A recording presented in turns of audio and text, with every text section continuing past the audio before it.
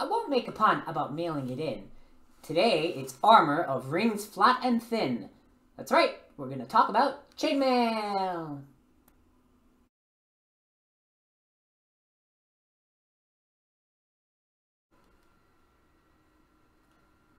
Oh, hello friends. Lauren here, and today, because the Noir Enigma wanted me to talk about armor, we're going to talk about chainmail. Yay! This is my mail shirt, M-A-I-L-L-E.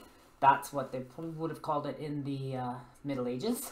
Chainmail is a much later term, but that's okay. I don't mind the term chainmail. You automatically know what we're talking about. It is a weave of metal rings. In this case, some of them are solid, some of them are riveted, and it makes a very flexible shirt that offers very good protection particularly against cuts, somewhat against thrusts, not always so much against um, an impact from a mace or even the impact of the sword itself, but usually wear a padded garment underneath. This is a gambeson, or a padded jacket, or padded jack, or there are aketons, and there are all sorts of terms for these. And then we get into arming doublets, subjects for other videos, of course. This is mail. Lots of fun, and it's about 2,400 years old. No, not this shirt. Not this particular shirt. This is a modern reproduction made in medieval style with modern materials. But the concept of mail goes back to at least 350 BC. We know that the Celts made it. Possibly the Etruscans had some. 2,400 year old idea. Look how complex all these rings, thousands and thousands and thousands, go up to making one shirt. You can imagine all of the labor that goes into making this. It must be very valuable uh, at certain points in history. If we go back to 350 BC, yes, it would be. Uh, the Roman Empire then, of course, takes on mail armor. They call it uh, lorica hamata. Not quite as long as that. And then we get into the medieval period. If we're looking at Saxon, Frankish, Viking times in Europe, uh, this would be a bit more rare. You don't have the same scale of labor to make this, so it becomes quite precious. Good gift, but it's excellent armor in those times. But made out of iron, it can give way to particularly hefty axe blow or a good sword. But then as the metallurgy gets better and we get into the higher Middle Ages and the late Middle Ages, we get these really excellent shirts of mail. Very good protection. Can uh, definitely keep you safe. And as an example, This sharp knife does nothing because the mail, the way it links together, provides this armored claw. So you have lots of mobility, really good protection. This particular shirt is called a habergeon. We'll see if the camera can keep focus. There we go. So it comes down just below the hips, not quite mid-thigh, just below the elbows. So that's what a haubergeon is. A hauberk would be probably down to the knees, much longer sleeves. There's also the term byrnie. It's one of those terms which probably referred to a mail shirt with shorter sleeves and not quite the same length. But it's body protection, and that's what you want.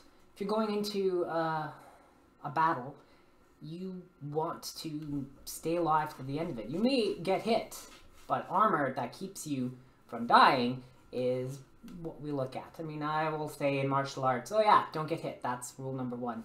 But if it's in a big battle, you definitely want armor like this. And the advantage of this shirt of mail being only 15 pounds, 7 kilograms, so you can wear it for long periods of time. It's very flexible. You can do most normal tasks of the day while wearing it. So if you're writing a story or it's for a role-playing game or video games, this is really the go-to armor, especially for adventuring, because it offers you some good protection, but you can still move and fight and do things in it, and it's not going to tire you out so much if you're used to wearing it. You do need to build up a little bit of stamina. You need to know what it's like to wear this armor. Got to get a feel for it. But once you do, it's really not that difficult. I mean, people wear heavier weighted vests for workout today, so... Now if we look we can see all of the rings. These are flat rings, 9 millimeter, alternating riveted and solid. And a lot of mail shirts were made that way. Later in the Middle Ages, we start to see all the links riveted. And I've seen examples of those in museums, uh, particularly the Wallace collection in London. That is a fantastic arms and armor exhibit there. And you can see some late medieval shirts, and you can see the detail. The rings are smaller, and it's just incredible the amount of work that must have gone into it. And the level of protection it provides is fantastic. Is it as good as plate armor? Well, no, because links, you know, rivets can pop and links can fall out and it does get damaged. The good thing is you can repair it quite easily. And that's why mail probably was around for so many years, like almost 2,000 years of use. Because you can repair it and it is good.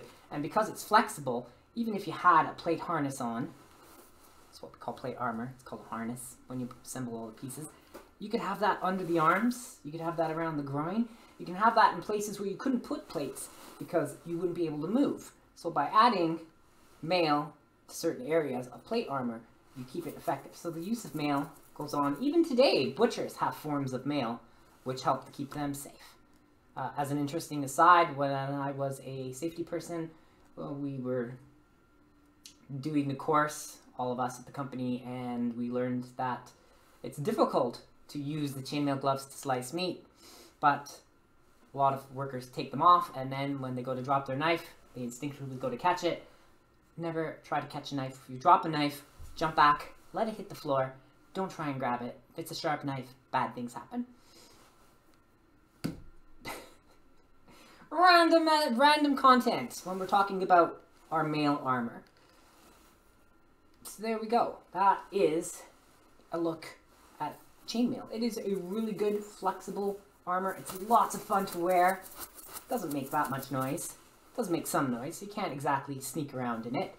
Uh, this is just the habergeon part. I don't have a mantle.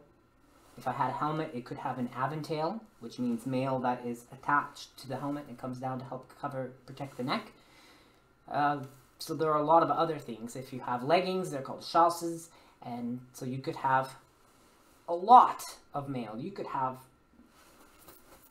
15, 20 kilograms of mail on your body if you really wanted. But it's fairly effective when it's good metallurgy. It's strong, if, the, if it's made of iron, if it's not the best quality metal, well, it's easy to repair because you can just take, you know, your couple handsfuls of links, put them in to patch up the spot. And it's really good because even though this is shirt of mail I'm wearing, someone else more or less, you know, not exactly the same size as me, a little bit taller, a little bit shorter, a little bit heavier, a little bit skinnier, they can still wear this shirt. Because the links move, it'll conform to that person's body just as easily as mine. So you don't have to worry about fitting it the way you do plate armor in the later Middle Ages, where it has to be made for the specific person's body. And then if you gain too much weight, you need new armor. Henry VIII had that problem.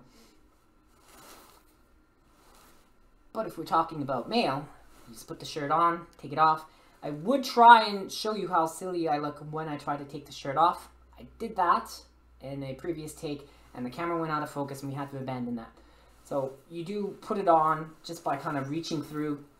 You get the sleeves in your hands, and you pull it over your head, and you shake it down into place. And to get it off, you basically reach down and touch your toes. You just throw the shirt forward, and it just kind of starts sliding off, and then you grab it and just start pulling it off of your body. So it's really quick to get on, really easy to get off. There are other videos out there on, on YouTube that show you that. But I wanted to give you a brief overview of this really cool mail shirt that I have. Because, yeah, we want to talk about armor as well. It's not just how to use a sword. Armor is a very important part. And if you're doing anything um, medieval, early Renaissance, even if you're doing uh, stuff that's antiquity for your stories or your games, this, this makes a huge difference. This is going to keep you alive, not necessarily uninjured, but it's going to help you survive whatever fight you're getting through. So that is just a brief look at mail armor, with a little bit of the history and what it looks like, and a bit about how it's made. We could get into 4 and 1 and 6 and 1, and the ring combinations, and Japanese mail, and Middle Eastern, and then it gets used in India much later uh, than in Europe and other places. So we can see the longevity in different parts of the world. It's not just a European thing. Maybe we find that it came from there. The sort, you know, our evidence says that's where it was invented, but it is used all across Asia and into Africa as well. So we should never just think of it as a small thing in one area. It is quite extensive around the world. And as a final note, a little rant.